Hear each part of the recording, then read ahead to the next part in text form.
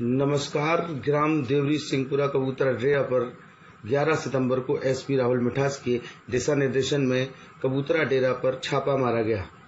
छापेमारी के दौरान मऊरानीपुर से पुलिस क्षेत्राधिकारी अभिषेक राहुल, कोतवाली प्रभारी संजय गुप्ता, रानीपुर चौकी प्रभारी रण विजय सिंह एवं आबकारी इंस्पेक्टर रोशन लाल ने संयुक्त रूप से भारी पुलिस बल के साथ छापेमारी की। सातिर शराब माफियाओं ने ज़मीन के अंदर बड़े बड़े टैंक बनाए हुए हैं। जिनको जेवीसी मशीन से खुदाई करवाकर नाली बनाई गई। नाली बनाकर कई टंकी, वाहन नष्ट किया गया। इस दरमियान ड्रोन कैमरों का इस्तेमाल किया जाता रहा। लगभग 8000 लीटर लहन नष्ट किया गया। व 1000 लीटर के लगभग पकी हुई शराब, अवैध कच्ची शराब पकड़ी गई। डेरा पर रहने वालों को आभास हो गया। छापेमारी के दौरान डेरा पर कोई भी नहीं मिला। व पुलिस बल के पहुँचने से पहले ही सब रफू चक्कर हो गए। कोई भी गिरफ्तारी नहीं हो सकी। पत्तों के झड़ने से वृक्षों के वजूद नहीं मिटते जनाब। जड़ों को उखाड़ फेंकना है ज़रूरी। बसंत आते ही फिर से हरे भरे हो जाते हैं ये विशाल वृक्ष। दिन भर सस्ती है पूरे नगर में जगह जगह दुकानें। ग्राहकों का लगा रहता है तांता। बिक्री मात्र को महिलाओं का लिया जाता है सहारा। अब तो आलम यह है कि हर 500 मीटर की दूरी पर कर सकते हैं मदरापान कच्ची शराब पीकर बहती धारा में भी आती है गहरी सुकून की नींद। पुलिस का सरदर्द बनी कच्ची शराब ही ऐसी एक घटना। 11 सितंबर को मऊरानीपुर के मध्य में बहने वाली सुखनई नदी में लोगों ने प्रातःकाल ही देखी। संतोष रेगवार शराब के नशे में धुत होकर नदी में आराम फरमा रहे थे। दूर से मरे हुए प्रतीत हो रहे थे। लोगों ने देखा और सूचना पुलिस को दी। पुलिस मौके पर पहुँची तो देखा संतोष की साँसें चल रही थी। तुरंत करवाया स्वास्थ्य केंद्र में भर्ती। पुलिस ने बचाई संतोष की जान। कबूतरा डेरा नाम भले ही हो पर रिहायशी सुविधाओं से परिपूर्ण रिहायशी इलाकों का नमूना नज़र आते हैं। ये डेरे इस जाति के प्रमुख से पूछा जाए तो इनका कहना है कि यह व्यापार हमारा पुस्तैनी व्यापार है, जिसे बंद करवाया जाना शासन प्रशासन की जाति है।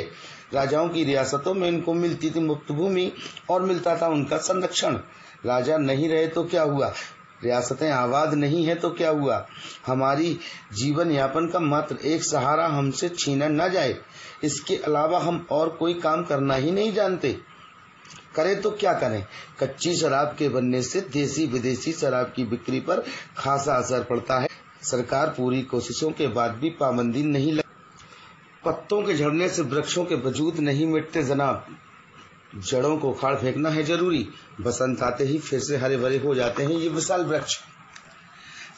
दिन भर सस्ती है पूरे नगर में जगह जगह दुकानें। ग्राहकों का लगा रहता है तांता। बिक्री मात्र को महिलाओं का लिया जाता है सहारा। अब तो आलम यह है कि हर 500 मीटर की दूरी पर कर सकते हैं मदरापान। कच्ची शराब पीकर बहती धारा में भी आती है गहरी सुकून की नींद। पुलिस का सरदर्द बनी कच्ची शराब ही ऐसी एक घटना 11 सितंबर को मऊरानीपुर के मध्य में बहने वाली सुखनई नदी में लोगों ने प्रातःकाल ही देखी। संतोष रेगवार शराब के नशे में धुत होकर नदी में आराम फरमा रहे थे। दूर से मरे हुए प्रतीत हो रहे थे। लोगों ने देखा और सूचना पुलिस को दी। पुलिस मौके पर पहुँची तो देखा संतोष की साँसें चल रही थी। तुरंत करवाया स्वास्थ्य केंद्र में भर्ती। पुलिस ने बचाई संतोष की जान। कबूतरा डेरा नाम भले ही हो, पर रिहायशी सुविधाओं से परिपूर्ण रिहायशी इलाकों का नमूना नज़र आते हैं। ये डेरे इस जाति के प्रमुख से पूछा जाए तो इनका कहना है कि यह व्यापार हमारा पुस्तैनी व्यापार है, जिसे बंद करवाया जाना शासन प्रशासन की जाति है। राजाओं की रियासतों में इनको मिलती थी मुक्त भूमि और मिलता था उनका संरक्षण। राजा नहीं रहे तो क्या हुआ? रियासतें आबाद नहीं है तो क्या हुआ? हमारी जीवन यापन का मात्र एक सहारा हमसे छीना न जाए। इसके अलावा हम और कोई काम करना ही नहीं जानते। करें तो क्या करें? कच्ची शराब के बनने से देसी विदेशी शराब की बिक्री पर खासा असर पड़ता है। सरकार पूरी कोशिशों के बाद भी पाबंदी नहीं लगा पा रही है। महुए से बनने वाली शराब का सेवन अब नहीं हो पाता। आबादी बढ़ती ऐसा ही एक मामला पृथ्वीपुर के पास शिमलापुर डेरा पर पुलिस द्वारा की गई संयुक्त छापेमारी के दौरान देखने को मिला। हैंडपंप से निकली तकरीबन 200 लीटर कच्ची शराब। सरकार ने योजना के तहत जितने हैंडपंप लगवाए नहीं होंगे, उससे कई गुना ज़्यादा शराब की अस्थायी दुकानों का रोज़ाना अपने निर्धारित समय से खुलना तय है। ग्राहकों को बेसब्री से दुकान खुलने का इंतज़ार रहता है। बिना किसी टेंट या तंबू के लगने वाली कच्ची शराब की दुकानों का समय की नजाकत को देखकर समय समय पर स्थानांतरण भी होता रहता है। मऊरानीपुर से मंगल सिंह सेंगर की रिपोर्ट।